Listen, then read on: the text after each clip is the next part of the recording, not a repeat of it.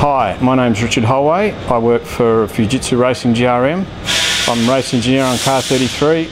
This is the Norton 360 technical section and today I'm going to give you an insight into my role within the team which is race engineering.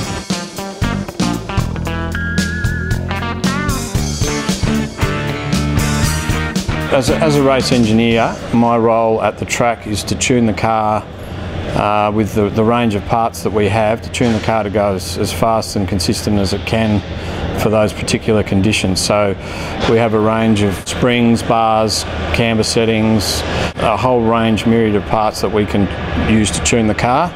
And the job of a race engineer is to basically he gets information from uh, the data, he gets information from the driver, and he gets information from tyre guys, from, from all, all different sources. And uh, to simplify, the simple uh, explanation is you combine all that information and, and, you're trying to make the car go as quick as you can um, for that particular set of conditions.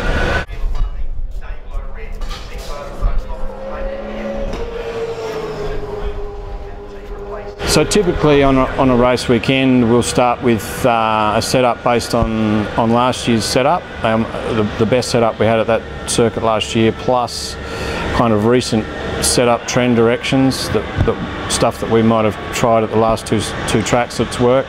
So it's a bit of a combination of last year's and this year's, plus what the, you know, we keep an eye on 34, we try and work together with the other car, especially this year with, with uh, Alex Premat, a French driver who hasn't driven in the series before. Uh, it's, it's important for us to keep referencing back to Michael Caruso because he's obviously been in the series a long time, has a lot of experience, so we want to make sure we're not departing too much from his setup. So that it's a little bit of a different year for me this year because a lot of my focus this year is to help Alex, one, learn the track, two, learn the cars and all the other facets of, of what's different about a V8 supercar than what he's been previously used to. A typical week for a race engineer at GRM would be we generally the next day when we return from the from the race meeting we have a debrief with uh, engineers and drivers and we go through uh, what, where we were strong, where we were weak, where we could improve, what parts we think we need to to make to uh, to, to make the car better. Um, you know, mistakes we made, anything that we think, that, you know, to keep a record of where we were and what we need to do to go better. Um, and then obviously, uh, depending on the turnaround time and, and whether we've had a, a accident damage or uh, you basically then working on the setup for the next track. Uh, and, and, you know, with Alex, you know, we'll be looking at vision from the car from the year before, so he can understand um, the lines, the way you drive that particular circuit. Then we'll be looking at the data to also help Alex understand how to drive that circuit and then it'll be with working with mechanics to get that set up into the car and get the car set up properly and into the truck and off to the next circuit.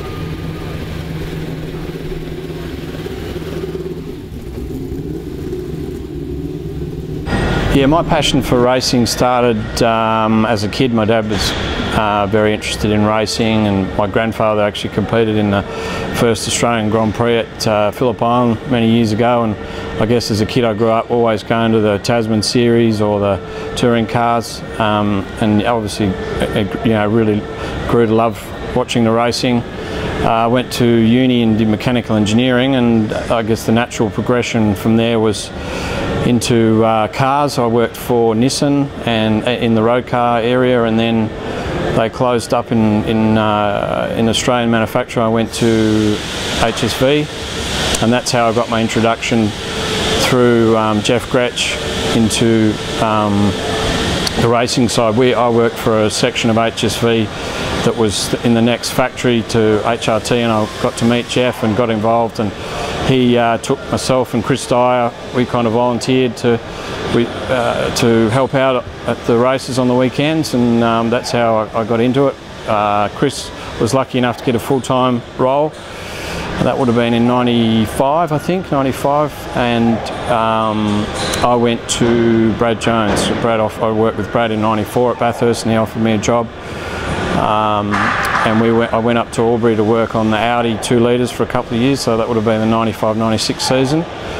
Uh, Chris then went to Arrows through a kind of internal TWR transfer to, to uh, F1 and I, Jeff offered me the job that Chris, Chris had and then I was basically there from the start of 97 with Murph and Brock um, till the end of uh, 2010. Um, 13 years at HRT. Obviously very lucky to work with some really good, you know, obviously the, the Brocks, the Skaifes, the Lowndes, the Murphys, Brights, you know, some really good drivers. Learned a lot and we had, uh, obviously the team had a lot of success in those years so it was, it was a great time. At the start of the 2011 season I came to GRM to work with Lee Holdsworth. Um, we, had a, we had a couple of good years, a couple of uh, podiums and some, some reasonable success. Obviously Lee's moved on now so uh, and now I'm working with Alex Premat, which uh, is, is, a, is a different sort of challenge. Like as I mentioned before, it's a lot at the moment with Alex about um, tuning him to the car and tuning him to the circuit. So it's a different role, but it's, it's interesting and I'm really enjoying it.